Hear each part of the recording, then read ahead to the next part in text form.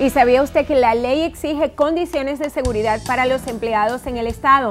Incluso hay importantes cambios en la ley que han sido diseñados para proteger a los trabajadores.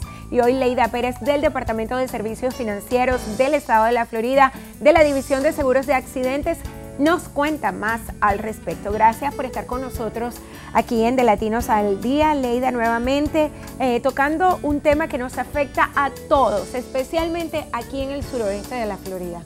Correcto. Vamos a hablar un poquito acerca de la compensación y la cobertura que necesita un empleador o un empleado en cuanto a la compensación por accidentes de trabajo. ¿De qué se trata? Bueno, la compensación de trabajo es un requisito por la ley del Estado de la Florida, de acuerdo al capítulo 440.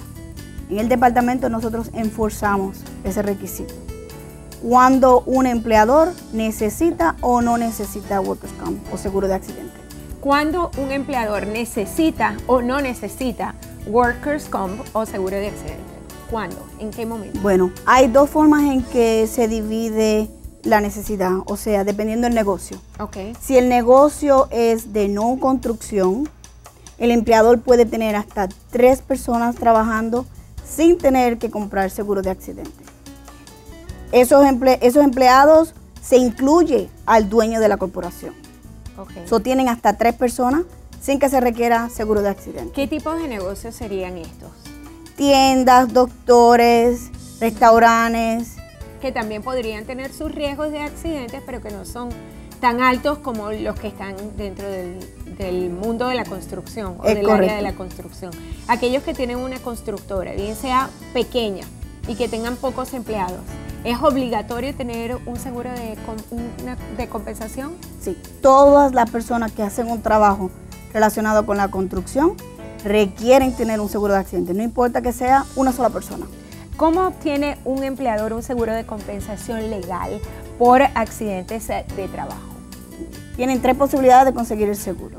Puede ir a la agencia de seguro, comprar un seguro completo basado en el año entero. Puede ir a una compañía donde se rentan los empleados, se conoce como leasing, donde usted paga semanal de acuerdo a los empleados que trabajaron. O puede usar una agencia de trabajador laboral, que ellos también proveen el seguro de accidente. Si alguien, por ejemplo, o se sospecha de que un empleador no tiene cobertura de accidentes eh, de trabajo o si se sospecha eh, que una clasificación de trabajo está incorrecta, ¿qué hacen ustedes como un departamento del estado de la Florida para hacerle seguimiento a este tipo de casos? Cuando se sospecha que una persona está mandando el investigador, como yo, vamos al lugar de trabajo y una vez que se confirma que no hay seguro de accidente, se da una situación que es un paro de trabajo. ¿Un paro de trabajo para el empleador y para el empleado en este caso? Quien recibe el paro de trabajo es el empleador, pero obviamente los empleados no pueden trabajar.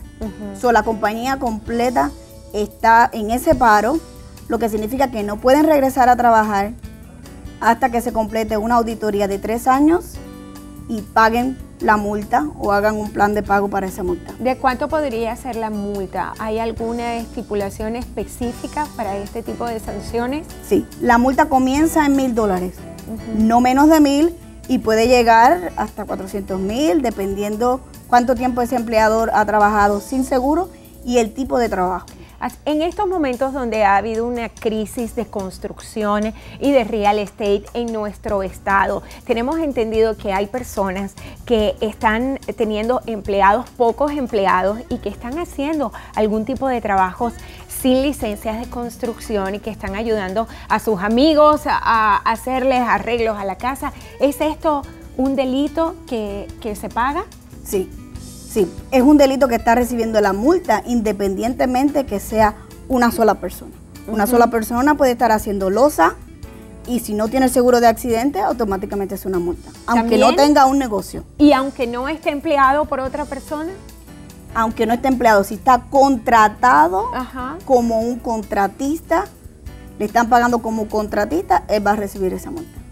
Mm, así que la ley de la Florida está muy pendiente de esta situación. Sí, porque estamos tratando de velar la seguridad no solamente del empleado que se accidenta, es para protegerlos, sino también al empleador o al dueño de la casa que si no tiene esa protección, va a ser el que van a demandar. idea ¿qué sucede si una persona, un dueño de una eh, constructora pequeña en estos momentos se está viendo de Latinos al Día y dice, bueno, yo no tengo en estos momentos, pero yo quiero arreglar la situación y quiero obtener un seguro de compensación de accidentes? ¿Qué debe hacer? Ok, tiene la opción que si es un pequeño negociante, aplique para una excepción. Okay. Una excepción, si es no construcción, es gratuita. Solo tiene que mandar esa aplicación, ese certificado, para que el gobierno sepa que no quiere contar como empleado. Okay. Si es construcción, el tipo de trabajo que hace tiene hasta tres personas que pueden aplicar para esa excepción. La excepción cuesta 50 dólares, pero es válida por dos años. Solamente. Solamente. Ok, y para mayor información, ¿a dónde las personas se pueden comunicar? ¿Hay un número de teléfono una página web donde puedan ver toda esta información de la cual hemos hablado en el día de hoy? Sí, nosotros pueden, todos pueden ir al website que se llama www.myflorida, todo junto, cfo.com. Ahí en esa página de website tiene un icon que dice español. So, también puede usted verlo en español no solamente revisar las reglas, sino que también puede hacer algún referido si necesita que chequeemos algún lugar, si necesita saber quién necesita y quién no, también puede llamar. Además que el gobierno ofrece seminarios gratuitos, entonces si una persona necesita saber necesito o no, no necesito, pueden llamar y nosotros le aclaramos. Seguramente allí ustedes pueden obtener también el número de teléfono que está en estos momentos en pantalla. Pueden hacer preguntas completamente en español y allí los dirigirán a este sitio en internet. Nosotros lo eh, colocaremos también a través de nuestra página en Facebook y a través eh, de nuestro sitio de enlaces de interés en la red. Recuerde, tenemos un enlace de interés que está relacionado con este tema y era la página web que nos daba eh, sobre este tema tan importante. Nosotros ah, ahora nos vamos a conocer qué tenemos en el calendario comunitario para el día de hoy.